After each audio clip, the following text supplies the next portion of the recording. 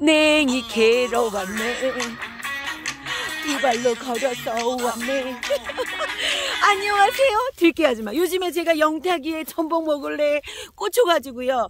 또 냉이 캐러 가볼래라고 또 신나게 한번 시작해 봤습니다. 오늘은요 봄하면 생각나는 이호놈 바로 냉이를 캤습니다. 아니 제가 냉이 뿌리가 얼마나 긴지 보여줄게 이게 냉인데요 뿌리가요 이렇게 길어요. 야 신봤다! 외칠 수밖에 없겠죠? 이 냉이가 이 냉이 잎사귀도 먹지만요 이 뿌리에 또 이게 그 향기가 또 끝내주지 않습니까? 근데 오늘 아주 첫 개시가 캐자마자 아니 냉이 뿌리가 아주 이따만한 거 아주 그냥 이런 거를 제가 캐고 나니까 또 한층 기분이 업됐습니다. 봄하면 생각나는 이 냉이를요. 이 다른 풀하고 너무 헷갈리는 풀들이 많아요. 그 풀하고요. 아주 초간 딱 한 번에 보고 딱 구별하는 방법 지금부터 알려드리려고 해요. 자, 잘 보셔야 보입니다. 이 대땅만큼 큰 거, 어우, 거의 제 손바닥만한 요게 바로 냉이입니다. 오늘의 주인공 냉이. 그러면 이 냉이랑 정말 헷갈리게 생긴 거, 이것도 냉이에요. 자, 또 캐서 한번 보여드릴 건데 캐기 전에 요것도 냉이. 냉이와 함께 같이 있는 요 풀이요. 꼭 냉이같이 생겨가지고 정말 항상 헷갈리는데 요겁니다. 바로 요 풀. 요거는 냉이와 비슷비슷하지만 요거는 지친개라는 식물인데요. 이 지친개는 사실 먹을 수는 있어요. 어리순 있을 때 물에 뭐 약간 쓴맛을 제거하고 어린 순이 있을 때는 묻혀서 먹을 수도 있는데요.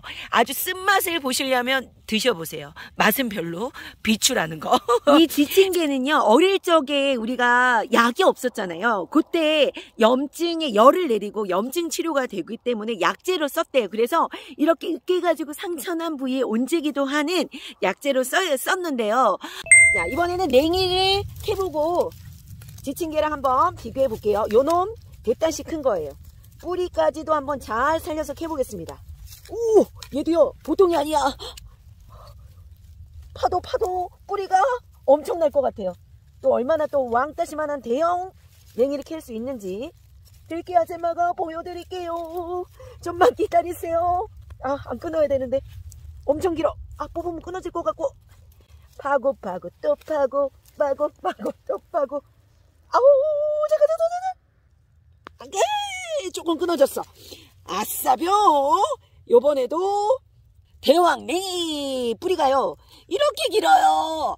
자, 냉이는요. 이렇게 잎사귀도 적당히 쌩쌩하고 이렇게 뿌리가 잔뿌리가 적으면서 뿌리가 이렇게 튼실한 게 좋습니다. 확실한 건 또 냄새잖아요. 또 한번 맡아보겠습니다.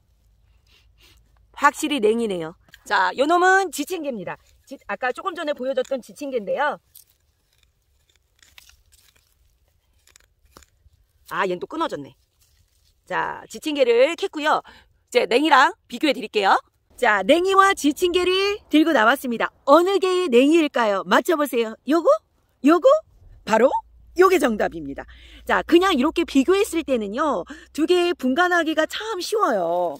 하지만 얘가 따로따로 떨어져 있을 땐 도대체 어떤 게 냉인지 지친개인지 되게 헷갈리는 경우가 많거든요. 자, 캐고 나서는 여러 가지로 확인하셔서 음, 냉인지 지친개인지 확인할 수는 있으세요. 어, 캔 다음 확인할 수 있는 방법은요. 이렇게 지친개 같은 경우는 뿌리 부분이요. 자색, 붉은빛을 돌게 이렇게 이렇게 빨그스름합니다. 지친개가 이렇게 뿌리 색깔이 빨그스름한 거를 느끼고요. 냉이는요. 뿌리가 이렇게 하얗습니다. 이렇게 티가 나죠? 냉이와 지친개의 뿌리 색깔은 이렇게 차이가 여기서부터 차이가 나죠? 이런 식으로 차이가 나고요. 또 냄새를 맡으면 알 수가 있는데요. 냉이는 향긋한 봄향기의 냉이 향이 나고요. 지친개는 그냥 풀맛이에요. 풀향기가 나요. 이렇게 요거는 두 가지는 캐야지만 알 수 있잖아요. 근데 캐기 전에 헛고생 안 하고 딱 봤을 때 알 수 있는 방법은요. 냉이와 지친개 잎사귀를 보면 알 수가 있는데요. 자, 지친 개 잎사귀를 쉽게 구별할 수 있는 방법은요. 이렇게 잎사귀를 하나하나를 딱 보세요. 봤을 때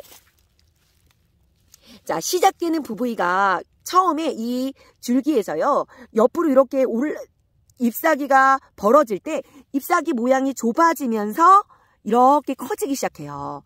그런 게 지친 게예요. 여기 시작이 좁았다가 이렇게 넓어지는 모양. 자, 확인하셨을까요? 다시 한번 여기도 시작이 좁아졌다가 넓어지는 게 지친개, 지친개고요. 그러면 냉이는요. 자, 요거는 냉이 잎사귀인데요. 이게 냉이도 약간 모양식은 다 다르지만 이제 냉이는 여기 줄기에서 시작되는 연결 부분이 좁지 않고 바로 넓적하게 연결이 되어 있거든요. 또 다른 거 하나 보여드릴게요. 이렇게 잎사귀가 어, 바로 좁지 않고 널찍하게 생긴 모양을 확인하실 수가 있으세요. 요건 바로 냉이입니다. 자, 이렇게 캐기 전에 잎사귀의 모양으로 자, 좁게 시작되는지 아니면 연결돼서 바로 시작되는지를 확인하시면 되시는데요. 요것도 애매하신 분은 캐셔가지고 어쩌겠어요. 색깔 보고 향기 맡아가지고 냉이를 캐셔야 되겠죠. 세 가지 방법 중에 캐기 전에 한 번에 딱 볼 수 있는 모양은 자 모양을 보시고 하시는 게 가장 음, 빠르신데 이게 처음에는 이게 가물가물 하실 수가 있으세요. 세 가지 중에 내가 딱 맞는 구별법으로 선택하셔서 냉이를 수확하셨으면 좋겠습니다.